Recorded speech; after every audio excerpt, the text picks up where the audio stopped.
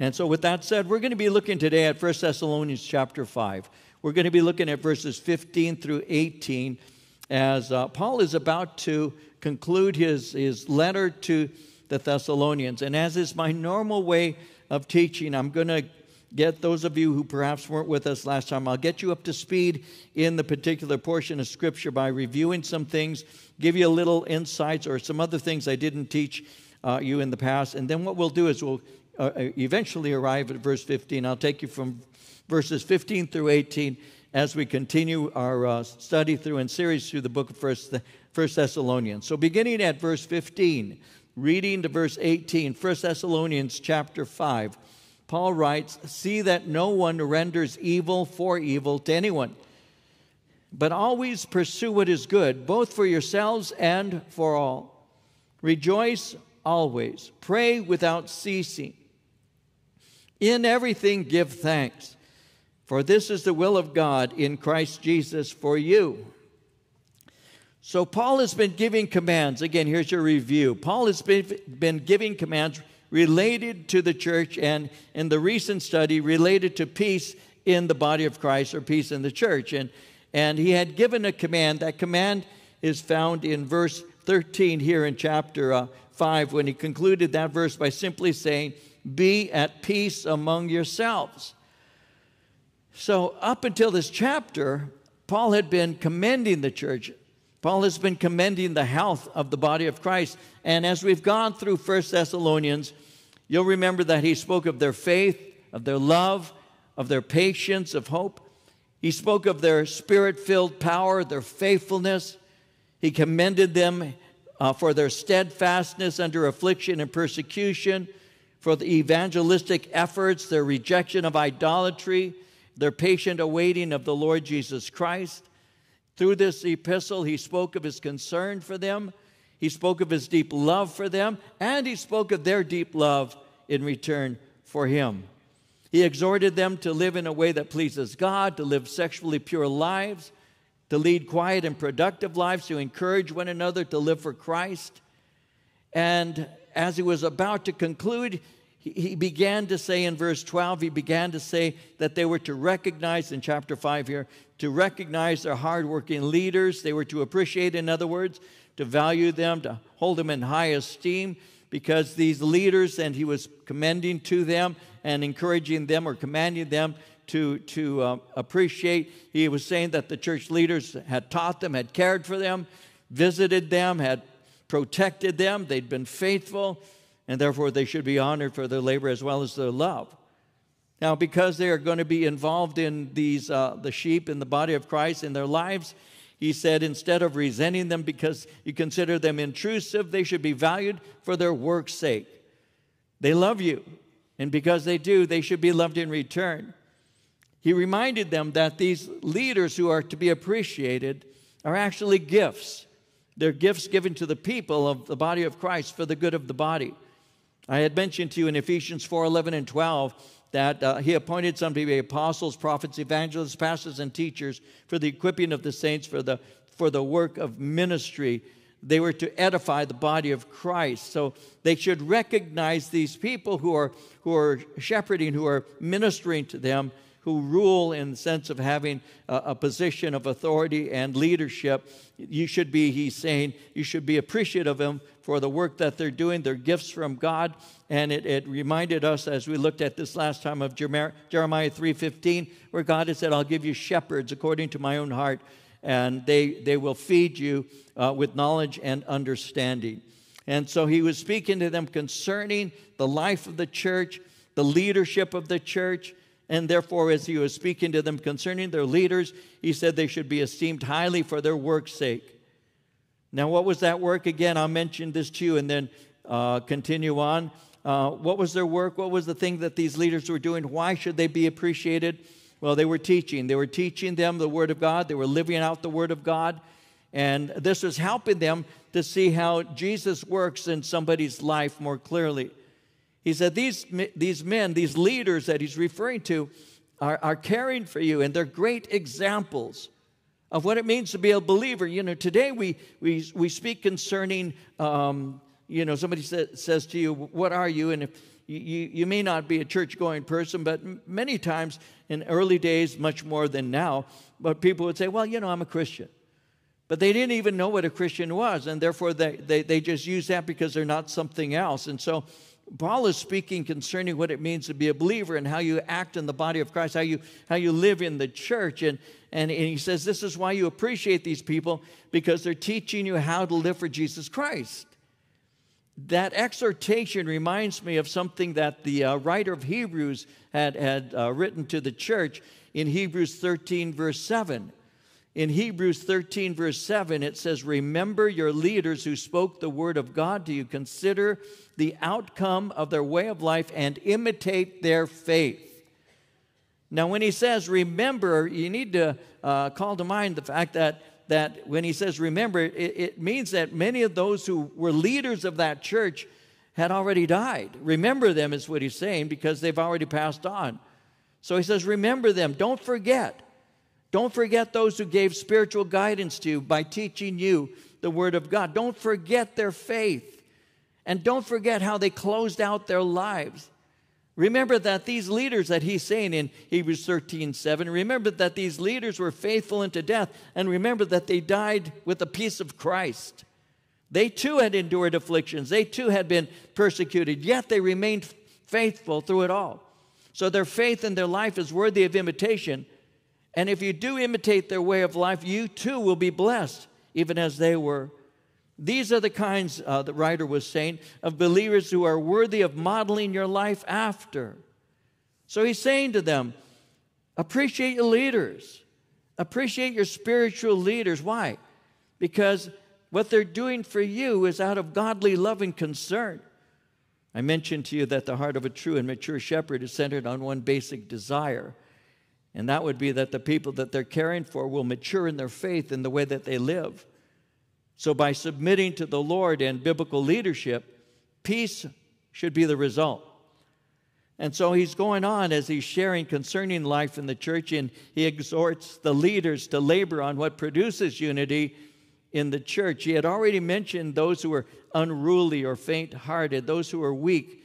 He said, encourage them, exhort them, because it makes it possible for peace to exist in the church in the midst of the pressures. So the following instructions continue to direct the elders to preserve unity.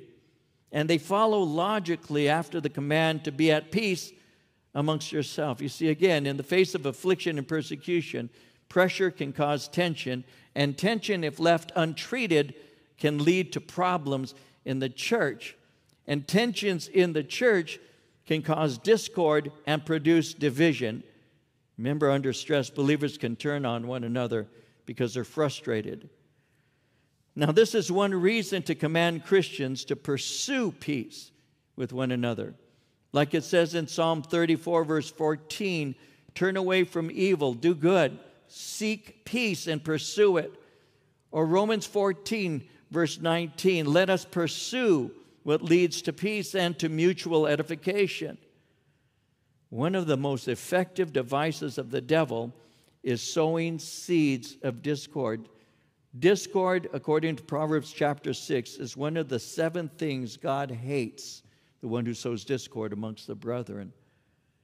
Now, as human beings, we're already prone to care primarily about ourselves. And I know that people would argue and say, no, that's not true. I'm very giving. And I don't care about myself that much. And maybe that's true in their mind. But if I take a picture of them within a group, who's the first person they're going to look for?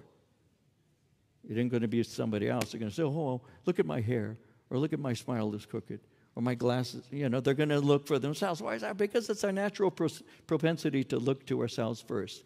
That's why we have to die to ourselves. That's where we're commanded. We have to be commanded to care about somebody else.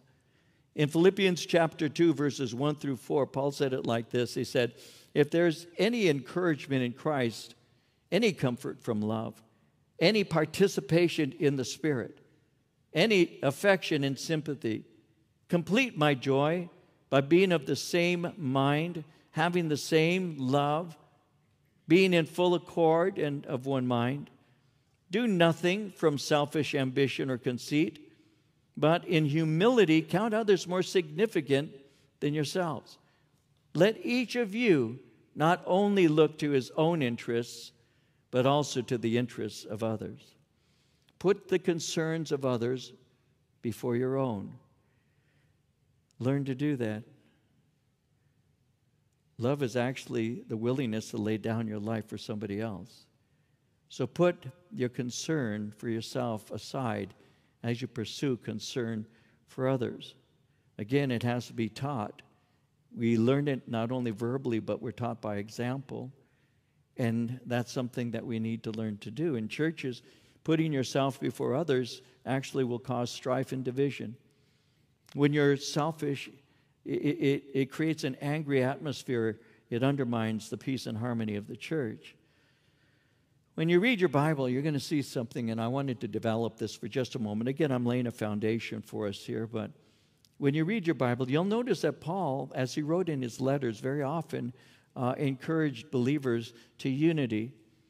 I'll give you a couple of examples. For example, when he wrote to the Corinthians in uh, 1 Corinthians, in chapter 1, verse 10, this is what he said to them in his letter. He said, I appeal to you, brothers, by the name of our Lord Jesus Christ that all of you agree and that there be no divisions among you, but that you be united in the same mind and in the same judgment.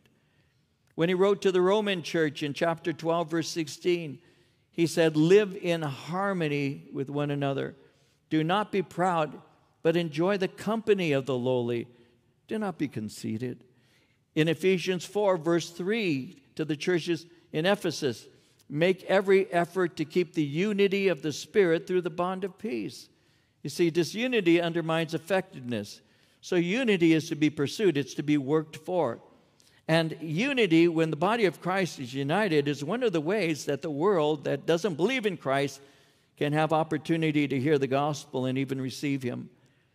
Jesus prayed in John 17, verse 21, and this is what He prayed Jesus prayed believers would be one even as he said, Father, just as you are in me and I am in you, may they also be in us, so that the world may believe that you've sent me. May they be one. You see, few things undermine the gospel of peace more than warring church members. They call them church wars. And church wars are carnal and they're worldly and they're destructive to the mission of the body of Christ. Now, one interesting occurrence is noted in Paul's letter to the church of Philippi. Remember that Paul, the apostle, was a missionary church planter, and when he would plant a church, he would remain long enough to disciple leadership. He would then leave these elders and he would go to plant other churches. Because he was no longer physically able to be there, on occasion he would write them letters when you read your New Testament, Paul wrote something like 13 letters. And these letters contain instruction and encouragement to the churches. So, what would happen is Paul would write a letter and send it to the church. It would be delivered to the church. And then that pastor would read the letter to the congregation. Now, the people would be told a letter has arrived. And pastor is going to read it. And so they would gather. And they would gather to hear the letter as it was read by the Apostle Paul. And so as they sat there listening, they would want to hear what he was writing. So you can imagine how they felt when they heard some of the things that Paul wrote. So imagine for a moment that we're the church in Corinth. The church has been called together. We have a letter from Paul. Come and listen to what he has to say to us. The church shows up in droves. They're seated there quietly listening as the pastor begins to read. And he gets to what we call 1 Corinthians chapter 1 verse 11, and as he's reading, he reads these words, "My brothers and sisters, some from Chloe's household have informed me there are quarrels among you." Imagine how Chloe must have felt at that moment. Her name was mentioned. Ratted me out. But fact is, she's informed me that there are quarrels. You guys are not united. How did they react when Timothy read a letter that he got, 1 Timothy chapter 1 verses 19 and 20? When Timothy's doing that, he's reading. I have delivered Hymenaeus and Alexander to Satan that they may learn not to blaspheme. Hymenaeus and, and, and uh, Alexander were leaders well known, and yet Paul the Apostle is, is, is calling them out in church as the letters being, being written. They, they need uh, read. They, they, they may learn not to blaspheme. They have veered off the course of good teaching, they've accepted false teaching. One of the more personal things Paul wrote was found in the book of Philippians as the people were listening once again to what uh, the pastor was reading. He came to this part of the letter. Now, again, the people are seated quietly. They're listening to the reading of Paul's letter. Everybody's seated listening. And he comes to what we call chapter 4, verses 1 and 2. And as he's reading, he reads, Therefore, my beloved and longed for brethren, my joy and crown, so stand fast in the Lord, beloved. And now I'd say, Yeah, I will. I'm going to stand fast. Okay. But he continues, I implore Euodia and I implore Syntyche to be of the same mind in the Lord. He called them out. Euodia and Syntyche. In modern translation, he says, Tell those broads to get it together. No, he didn't say that. but how would you feel? Your name. You know, you can be until your name is mentioned. You can be bored. You hear your name, your ears perk up. But he's saying, you know what? Lighten it up. You guys are a bad example. Get it together. Be united. How do you think they felt when they heard that? They were corrected in every public way.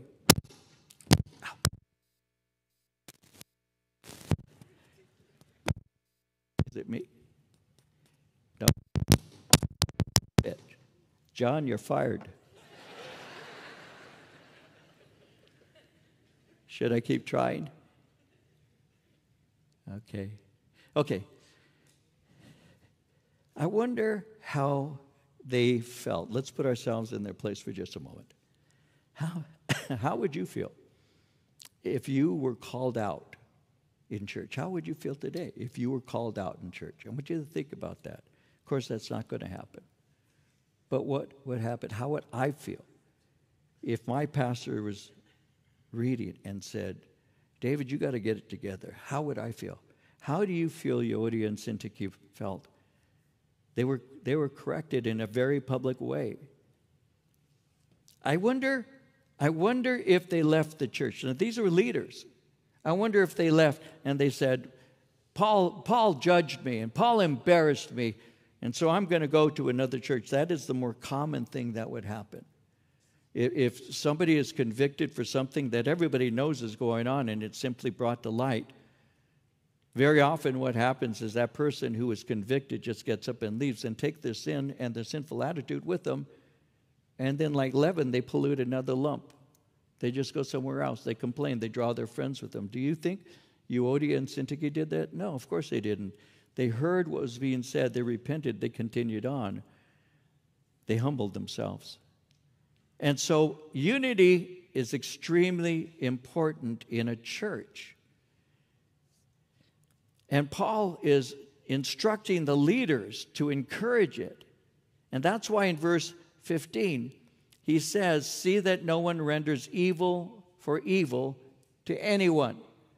So, what he's speaking about is continuing a thought of keeping unity and peace in the body of Christ. Now, he's been addressing at this point the leadership in the church, and he's telling the, the leaders to, to minister with authority over the body of Christ. He has told them to set an example, and he's told them you have responsibilities. You need to, to warn the unruly, you need to comfort the faint hearted, you are to uphold the, the weak, you're to be patient with all. And so this is simply a continuation of his instruction. And that's why he moves on and says in verse 15, See that no one renders evil to anyone. Now, with such intense persecution, that the, he's saying, Teach the church to avoid the response of retaliation. In the face of this, believers are to eliminate the natural desire to retaliate when someone has hurt them. Now, when he says to them, that they are not to render evil for evil. their response is not to be one out of weakness, but it's to be a response out of uh, a desire to maintain peace. See, if, if somebody gets in your face, even in our day, especially we'll say in our day as an example, somebody gets in your face, and this is a big, rough person. It, it, doesn't take a lot of courage to back down. It doesn't take a lot of courage to just say, My bad, I'm sorry. It doesn't take courage at all to do that. You know, if this person, uh, use a male as an example, me and some big old dude comes and towers over me and says, I'm going to tear your head off. Uh, it doesn't take a whole lot of courage for me to look at this guy and say, Please don't. Please don't. I like my head. I kind of like it. It's been there for a while. It didn't take courage for me to, to back down, to put my hands up and say, you know, whatever, my bad. It, that, that's not courageous. That's actually wise. It, it, keeps my teeth in my mouth, and I appreciate them. You know what I'm saying? I mean, it, it doesn't take courage to do that. So you can. You can back down, not out of a position of strength so much, but simply because you're weaker. When you're younger, though, and somebody comes up and gets in your face like that, and you, you're weighing it and you're looking and you're saying, I, I, I don't, I can take you out. When you have that attitude and you humble yourself, that's different. Because it's simply common sense to back down when somebody has greater power than you. It just makes sense. But when you have greater power than them and you don't render evil for evil, it requires something deeper than that. It requires humility. When you look at Jesus Christ, and he's in, and he's in the garden, and he's being taken by these officers, and, and the apostle Peter pulls out a sword so that he might defend him. He says, Put your sword away. You know, his father could have sent a legion of angels and destroyed everybody. Jesus humbly allowed himself to be taken. So, humility is actually a virtue. Being afraid or stepping out because it's wisdom is not, is not necessarily an act of, of, of humility and virtue at all. It's simply wise to do that. But what happens when you have the power in your hand to be able to take care of business in a physical way and yet you humble yourself? That's the best thing to do. That's why it's a strong person, it takes a strength. Jesus was meek above all men. He didn't need a legion of angels. With a word, he could have taken care of it himself. When they came and he said, Who are you looking for? And they said, Jesus of Nazareth. Remember how Jesus says, I am he? And what happened? They all fell to their faces. And that was just disclosing, This is who I am, let alone what he could have done in an instant. But he didn't do anything like that. He allowed himself to be taken and killed, demonstrating to us the power of humility and an awareness of the plan of God. And so when somebody is saying things about you and can hurt you in a church, instead of retaliating and trying to take revenge, you actually learn to live at peace. You actually do so because it's not an act of weakness, it's actually an act of moral courage, it's humility, it's a real strength. In Romans 12 17, Paul said, Do not repay anyone evil for evil. Be careful to do what is right in the sight of everyone. Or Romans 12 19, do not take revenge, my dear friends. Leave room for God's wrath. It's written, Vengeance is mine, I will repay, saith the Lord. When Peter was writing in 1 Peter 3, verse 9, do not repay evil with evil or insult with insult. On the contrary, repay evil with blessing, because to this you were called, so that you may inherit a blessing. Do not render evil for evil. You know, I have on my on my desk in my office a letter that somebody wrote me. I've known this person a long time, haven't seen him for a long time. And a while back, I had written to them and I I had said, you know, uh, I love you. I haven't seen you. And just want you to know I love you. It's been a long time, years. It's been years. I won't give you a lot of details you're not interested in. But I had written, and that, that letter I wrote was years ago. And I left it alone.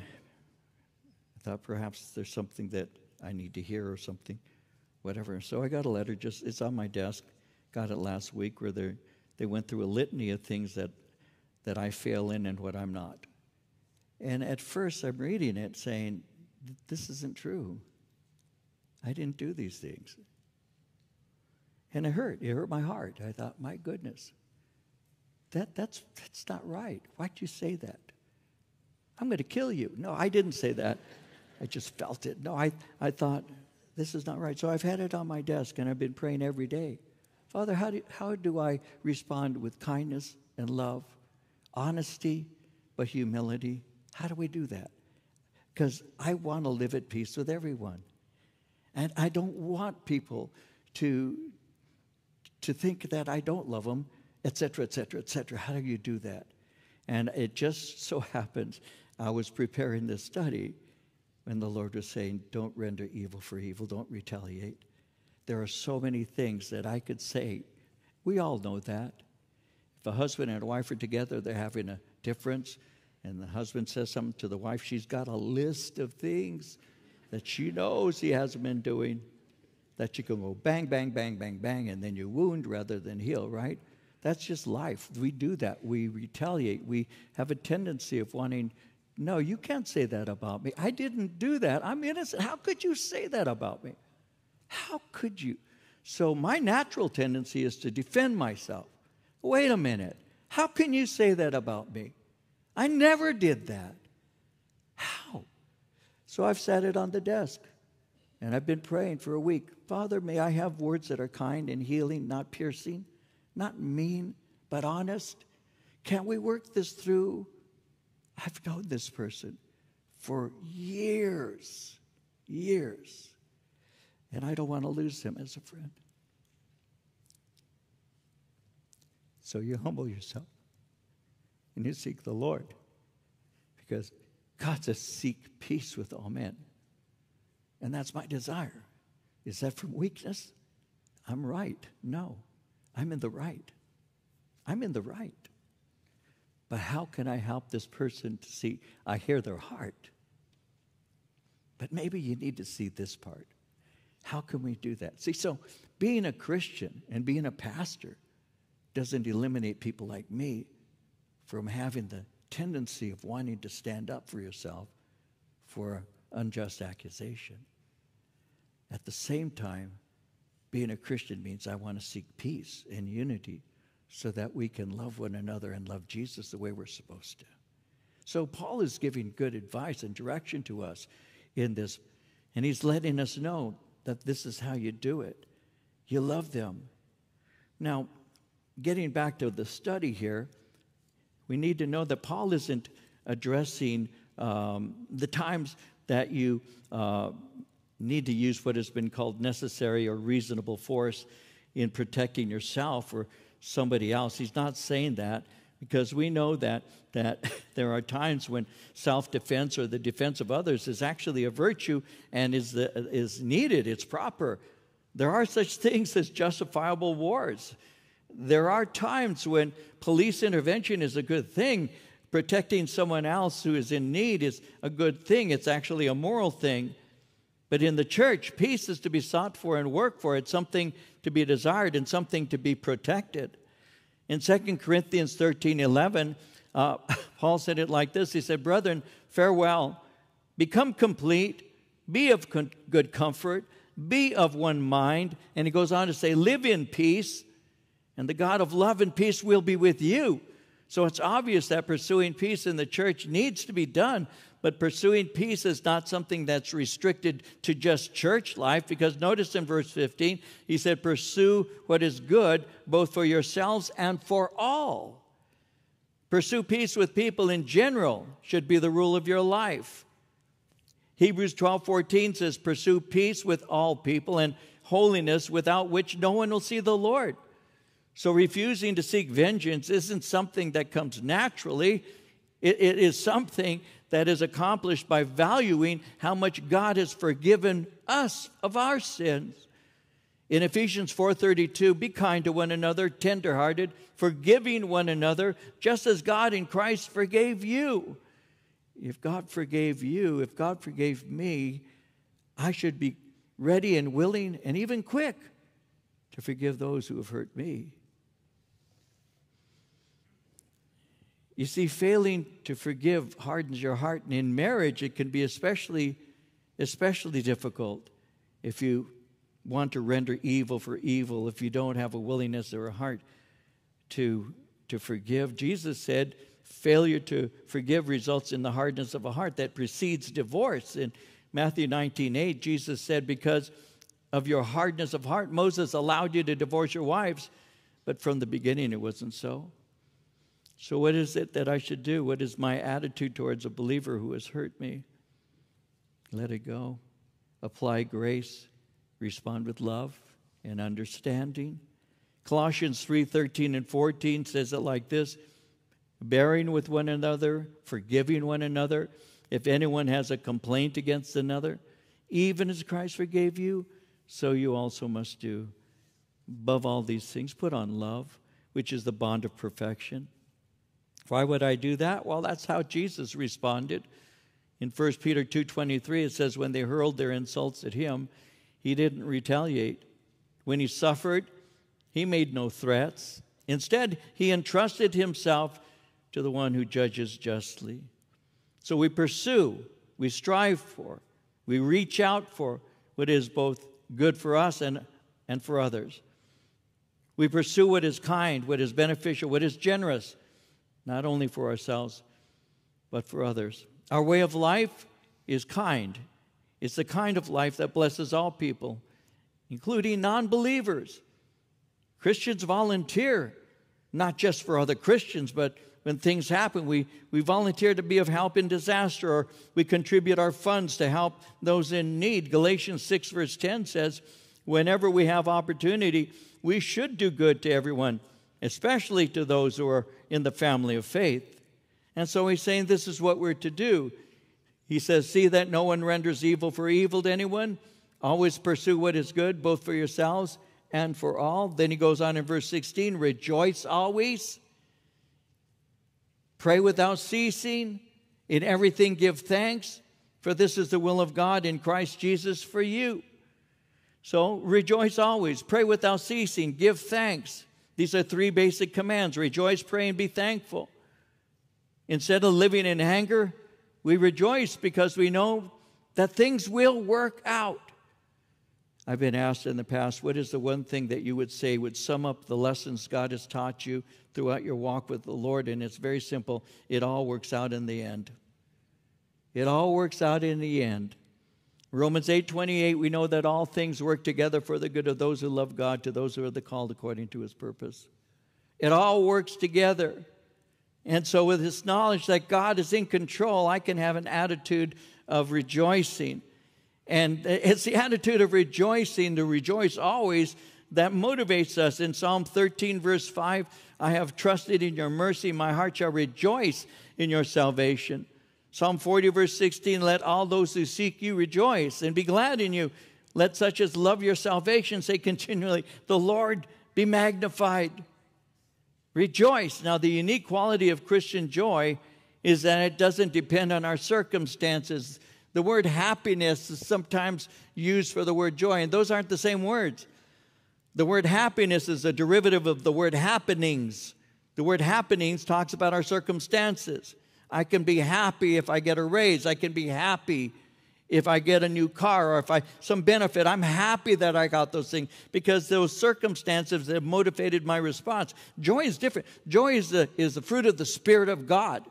We can rejoice always, even if we're in hard circumstances, because our God is in control. Our God is taking care of us. And, and joy is not something that is necessarily revealed by us laughing and, and smiling. It, it, re, it results from knowing that the Lord's in control and trusting Him. In Hebrews 12, verses 2 and 3, let us fix our eyes on Jesus, the author and perfecter of our faith, who for the joy that was set before him endured the cross, scorning its shame, sat down at the right hand of the throne of God.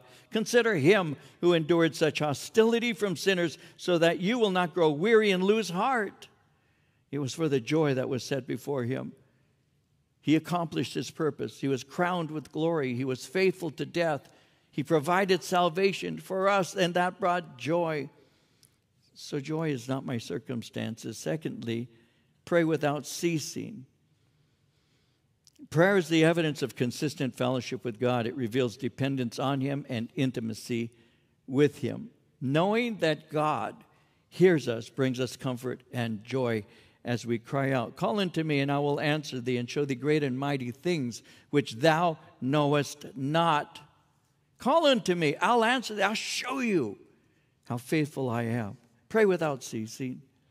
The Lord began teaching me about prayer when I first got saved. I got saved in 1970. I went into the military in March of 1971. We were in basic training, we were in Fort Ord. We got a weekend pass, and so we were on our way home. We had a friend who had a car large enough to hold us, my friend Bill and me, as well as uh, I, I think there were six or seven of us in this car. So we're all piled into this old car, driving from Fort Ord, going south, going to uh, to where I lived. Bill and I lived in in uh, in Norwalk. We had a friend who lived in in Huntington Beach. And so we're in this old car driving, and we were 10 miles to the north of Santa Maria when the car broke down. Some of you are familiar with the road that goes up and through Santa Maria, goes up north towards San Luis Obispo and going up in that direction. And it was a two lane at that time. It wasn't, it's not as large. They, they broadened, they widened it a long time ago. But then it was simply a two laner. And there we are pulled over on the side of the road in the dirt. And there's no traffic going by in that area. And we're thinking, how are we going to get home for a weekend? And so I did the natural thing. I walked to the side of the road and I was going to wait for a car to pass by and I was going to try and thumb a ride, see how far I could get. My friend Bill is the one who introduced me to Calvary Chapel. He's the one that uh, we went in the military together. And so he said, You know what? Let's pray and ask God. God could give us a ride. Now, I'm a brand new Christian. Why couldn't I? I mean, it's just a ride. It's no big deal. I'm not asking him to raise the dead. I'm asking him for a ride home. It makes sense to me. So I said, okay, let's ask him. I still remember standing with Bill. We were the only two Christians out, out of a carload of guys. And, and we prayed, Jesus, we want to go home. Would you help us, please? Thank you. That's, you know, really deep prayer. And so as we're there, we just kind of stood. And here comes a Volkswagen and it's coming from the north, coming south towards Santa Maria. Again, Santa Maria is 10 miles to our south. To our south. And so it's a, it, it, pulls over this, this Volkswagen. The driver pulls over, and we're standing, and it's a young girl. She couldn't have been 18, 17, 18 years old. And she's got a brother with her who was, he looked about 12 or 13. So they're two young people. And you've got about seven, maybe eight guys on the side of the road. And uh, it, it, it's, it's what you would tell your daughter never do. and she pulls over, and the kid rolls the window down. It's a Volkswagen, and we stand in there. And she says, Excuse me. She goes, I would never do this. She goes, But I'm a Christian, and the Spirit of God just told me to pull over to give you a ride. And I looked at her. I said, Get a better car. No, I, I looked at her. And we, Bill and I just go, Wow, wow, God answers prayer. And so we said, I still remember telling her, we're Christians too. We just prayed that God would give us a ride home. She says, Well, here I am. She says, Now, she goes, Those there were several of us. She says, I can only take like two, two of you, three of you at the most in the back. I'll have to make a U turn and come back. I'm going to go to the bus depot in Santa Maria. I'll drop them off, uh, drop you off, and come back and pick up the rest of you until all of you make it to the bus station. And so Bill and I said, Well, take them first. So three guys hop into the back seat, off they go. We're just rejoicing, like, Lord, you're too much. And so now what's God going to do? A Volkswagen van, Volkswagen was big during that day, a Volkswagen van pulls over, the hippie limousine. And as it pulls over, there's a single driver, but he says, Where you guys going? You know, you got to understand, we're GIs. And at that time, hippies did not like military. Got to understand that. Hippies did not like military. And we're there with these cuts. You know, we're obviously military, obviously. They pulled over anyway. And so we had a friend with us. His name was Mike. Mike climbs in the front, and Bill and I climb in the back because two of the other guys, we had already sent three. That's telling me how many we had. We sent three. Two of the guys were remaining behind. So Mike, Bill, and I climbed in the VW. In the back was some hippie guy just laying on a pillow, which was very common at that time. And, and so he says, What are you guys doing? And we said, Peace. No, we said, We're on our way home. He says, Cool. And we begin talking to him. He's a Christian. So we talk about the Lord, we fall asleep. The, the guy driving the Volkswagen drives us to Norwalk, all the way to Norwalk, drops us off. He makes his way all the way to Huntington and drops my friend Mike off at his door. And I'm learning now that God answers prayer. And so I began to learn very early ask me, and I will show thee great and mighty things which you don't understand yet. Ask me. You have not because you ask not. Let me show you my goodness. And so, very, very early at the beginning. And so now, years later, we, we begin uh, this ministry, and, and we were renting a, a building in, in Ontario. It, it was a Vine Street on Vine Street. It was called the Church of God Seventh Day. We celebrated Christmas. And so they said, These are pagans. We can't have pagans because you're celebrating a pagan holiday. And we go, Wow, they kicked us out of the church. Turns out they were a cult. We didn't know it. We were just, oh. So they booted us out. We give you until the end of January. Every day, my friend Dan and my friend Randy, who Randy now pastors Calvary Chapel in Upland, Dan pastors Calvary Chapel Cle Elum in Washington. Every day we prayed and sought the Lord. We don't know what to do. We tried every place that we could find. We could not find a place. We only had 60 people in the church, and 60 people did not provide income. The average was around $300 a week. There was no way that we could afford any other place because we looked around. The only place that was open was Central School. They wanted $1,050 a month. We were spending $100 a, a month on a, a renting a, an office by Logan's Candy. It was only two doors uh, to the east of Logan's. A lot of you know Logan's Candy. They've been with us for, for forever. And so we didn't have a place. And now it's the middle of the month, and we only have a couple weeks to go, and we've looked everywhere. I still remember it was a Wednesday night going into my into my bedroom and falling literally on my face on the carpet, weeping before God. God, we don't have any place to go. We've tried every place. I don't know what to do. And so I got up. It was Wednesday night. Went and did a home Bible study. Came home and climbed into the bed. And as I climbed in bed, I heard the voice of the Lord in a still, small way say, "You will need a place that seats 200 on Easter Sunday." I still remember hearing that you and, and then saying in response, it was such a comforting, natural thing. I still remember saying within myself, that's right. I went to sleep. The next day I was preparing the Sunday morning service, John 12, 24. Unless a grain of wheat fall into the ground and die, it abides alone. But if it dies, it'll produce much fruit. And so I remember closing my Bible and saying, Lord, I have died. Now, earlier in the week, I had written a letter to Chuck Smith at Calvary Chapel. Prior to that, I had, when our church was fairly new, written and said we'd like to be an association in, in association with Calvary Chapel Ministries. I got a phone call from both Romaine as well as a, a guy, another guy, who said, um, "Sorry, you're too close to other Calvary chapels. There's one in Claremont. There's one that was existing in Chino at that time, and we don't like churches planting on each other's doorsteps. And so, no, you can't be one. So a couple, three weeks, a few weeks later, I wrote and said, you know, just letting you know, I'm still wanting to associate. I really feel that this is something the Lord would have for us, and never got a response from that. And then finally, a few few uh, weeks later, a couple, three weeks later, I wrote a letter directly to Pastor Chuck And I said, Chuck, this is who I am. This is what I've done. This is where I'm from. These are the things we're doing right now. Uh, I would love to be part of the Calvary Chapel ministry. And I had sent that out on a Monday. It's now Wednesday.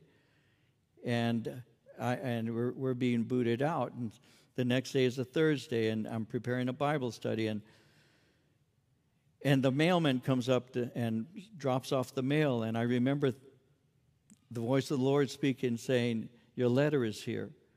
And I got up and picked up this bundle of mail, and the very first letter I saw, Calvary Chapel, Costa Mesa. I put it to the side. I went through the other, uh, other uh, letters that I received. I still remember putting the letter in front of me saying, Father, I, I, desire to be a part of the Calvary ministry, but if you say no, I'll do whatever you say. I open it up, and it's the letter. We have that letter in the hallway where Pastor Chuck said, Welcome to the Association of Calvary Chapel Ministries. So he does abundantly above all you could ask or think. He does it all. God has that way. We're having that later on where we, we only had 60 people, but now it's Easter and and it's pouring rain. Some of you who are from this area know that, uh, you know, sometimes it rains so hard that the water will go over the curbs. And in Ontario, the water runs on down, and the curbs are actually higher on Sultana and, and Central and uh, on, on uh, 4th, 6th uh, Street in Central, um, rather 6th Street in Sultana, it'll, it'll come over the. It was pouring rain. And now it's Easter, and I, I remember going out uh, to the Easter Sunday service into the central school because what had happened is we changed our names to Calvary Chapel. Our church doubled in size. The finances came in. We were able to rent and get out of the building that we were using. They gave us a two month extension and we were able to see the church grow to the point we could afford the $1,050 a month to have a new location.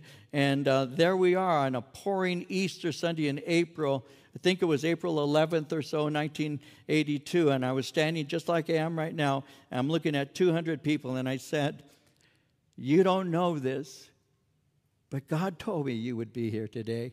Here you are. My God is true to his word. And I've known that through prayer since the beginning. When I first got saved to this day, when COVID hit, I knew that God, my God, shall supply all our need according to his riches in Jesus Christ. I knew that, and he has done that over and over again. Pray without ceasing. Our Christian faith turns our thoughts away from ourselves. Psalm 34, verse 4 I sought the Lord, he heard, and he delivered me from all my fears. And then finally, in everything, give thanks. Notice he says, in everything and not for everything. We come to learn that whatever comes our way is going to strengthen us. Under the most difficult pressures, we cast our cares on the Lord. And we do this because we know that God is in control. We know that God hears us. And we have a knowledge that God is for us. And that gives us the ability to be thankful. God's will is is, is that in everything we give thanks. It's not a, a, an obligation, this thankfulness is a continuing possibility in every joy, even in every sorrow. The things that keep us going is trust, it's this knowledge that strengthens us. We learn to give thanks. We know that our God is in control. We can become confused and we can struggle, but we trust Him in everything. When Job went through his terrible trial and his wife couldn't take it anymore, the pain her husband was going through was just too much. And she speaks up in Job 2, verse 9. His wife said to him, Do you still hold fast to your integrity? Curse God, die. Thank you, baby. I appreciate your advice. She wasn't angry because he remained with integrity or held fast to his faith. It would seem she was upset because his faith didn't get him relief from pain. Seek God to take you out of your misery. You have no hope. But Job said to her, You speak as one of the foolish women speaks. Shall we indeed accept good from God, and shall we not accept adversity? In all this, Job did not sin with his lips. He didn't understand what was going on, but later he did. In James 5:11, we count them blessed who endure. You've heard of the perseverance of Job. You've seen the end intended by the Lord, that the Lord is very compassionate and merciful. So these Christians are enduring pers- persecution, and, and Paul says in closing, I counsel you to have joy, and I counsel you to pray. Philippians 4 6 and 7 Be anxious for nothing, in everything, by prayer and supplication with thanksgiving. Let your requests be made known to God. And the peace of God, which surpasses all understanding, will guard your hearts and minds through Christ Jesus. Hold fast, rejoice always, pray without ceasing, give thanks. This is the will of God in Christ Jesus for you. And God will be with you, and God will show himself strong in your behalf. Ask, and it shall be given. God will be there. He never leaves you, nor will he forsake you. He is close to those with a broken heart, and He will minister His comfort. Hold fast.